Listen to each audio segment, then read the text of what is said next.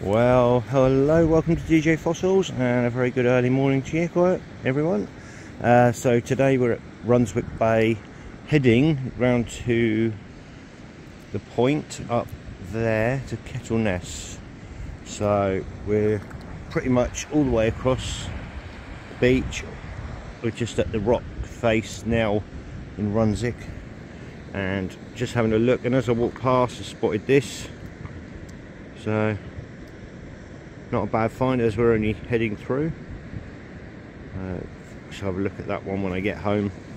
I don't want to stop and bang things at the moment because we want to get we've got a little bit of a walk and it's starting to get light as you can see. But we've got a bit of a trek still to get round to the bay. So I'll see you soon and hopefully we'll have some good finds today.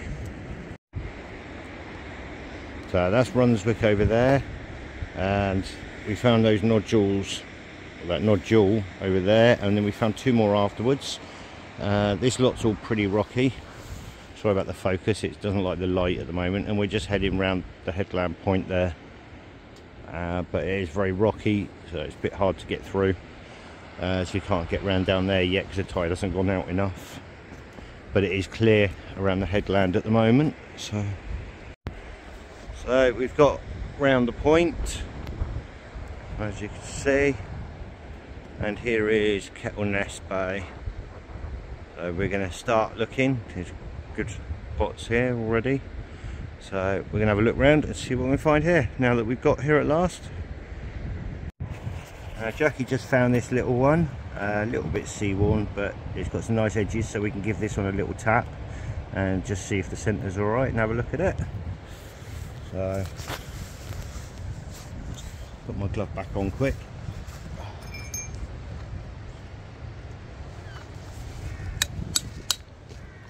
that side's come straight out. Oh, beautiful centre on that one. A little bit worn around the edges, but the centre looks gorgeous, doesn't it? Mm. The other side will probably tap off just as easily.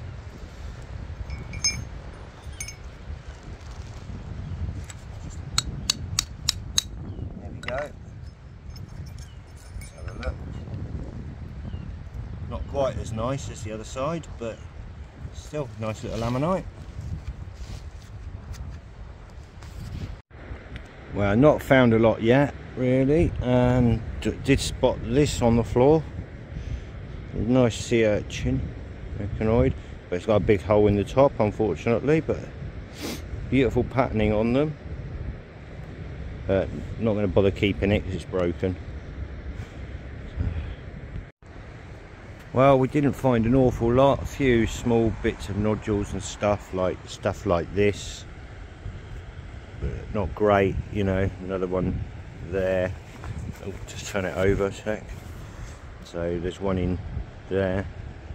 But nothing brilliant. Um, we're to start heading back uh, while it's easier to get back. And if if we don't find anything else, then we'll leave the video there.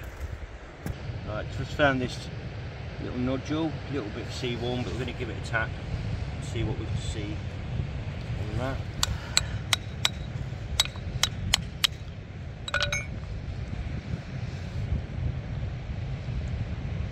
Not bad. A little bit of damage in the middle. Not too bad at all. I think the other side will probably tap off quite easily as well, but I'm going to leave it for now.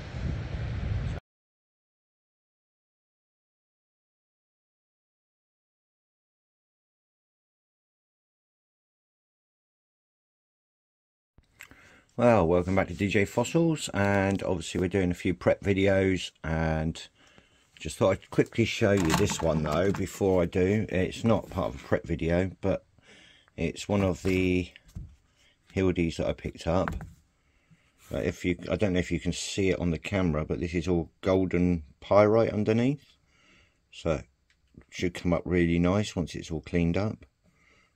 But yeah, it's all gold pyrite, solid pyrite but yeah, that's what I spotted on the beach in the when it was in the sand. This is the one that I found buried, and um, with just the top sticking out in the sand up at Saltwick Bay. Yeah, Saltwick Bay. So, yeah, quite a nice one. But today's video, I'm working on a few different bits, but um, today's video is this nodule here. And what we found was this top bit there. And it's got a nice, actually got a crack running through there, look. So it should come apart quite nicely, but I'm still going to use the prep tools because what I don't want to do is damage any of the spines. If I just tap it, sometimes the spines will come off or you get a damaged part. So I'm going to do it with the prep tools. It should come out quite easily. There's a lovely gap there. So they should start coming off pretty quick. So that's what I'm going to be working on in this video. And we'll see what ammonite's in there. Uh, it's a bit of wear on the edge there, as you can see. But the rest of it should be really nice.